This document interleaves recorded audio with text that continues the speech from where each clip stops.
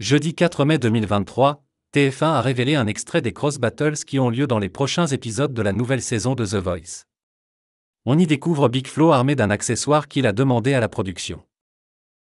En tant que nouveaux éléments des coachs de The Voice, les rappeurs Big Flo et Oli tentent d'avancer dans l'aventure avec brio. S'ils se font mutuellement confiance pour guider les talents vers leur plus haut niveau, il est parfois bien difficile pour eux de choisir avec qui continuer l'aventure. Lors de la dernière salle de battle, opposant des talents d'une même équipe, Big Flo et Oli ont notamment choisi de garder Fanchon, une candidate déjà connue pour son parcours dans The Voice Kids.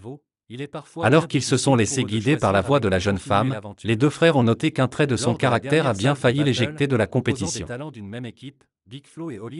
Ils ont estimé qu'elle était trop compétitrice, il ne faut pas que tu oublies de penser d'abord à la musique, à l'artistique, avant de penser à l'émission et jusqu'où tu iras. On va quand même continuer avec toi, Fanchon, a ajouté le rappeur toulousain. Une remarque que l'intéressé a trouvée injuste, c'est vrai que ça m'a un peu frustré. Et ça m'a attristé parce que pour moi, ce n'est pas le fait que je sois compétitrice, c'est que je me mets énormément de pression. Je suis extrêmement perfectionniste. On s'est mal compris. Il m'a peut-être vu comme une personne qui est énormément dans la compétition alors que j'essaie juste de faire de mon mieux.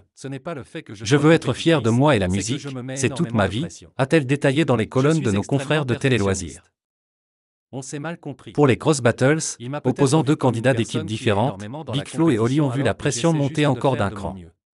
Alors Big Flo a formulé une demande très surprenante auprès de la production, avoir des cartes à l'effigie des candidats, comme celle de la collection Pokémon, pour pouvoir choisir les meilleurs à envoyer en duel. J'ai demandé qu'il me fasse un petit jeu de cartes avec mes talents. Ça me permet de mieux choisir. C'est pour visualiser et être dans le game, quoi. Avouez, vous aimeriez bien avoir des petites cartes.